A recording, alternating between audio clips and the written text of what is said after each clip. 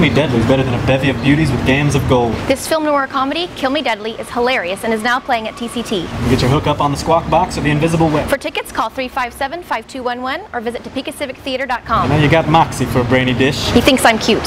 See you at the show.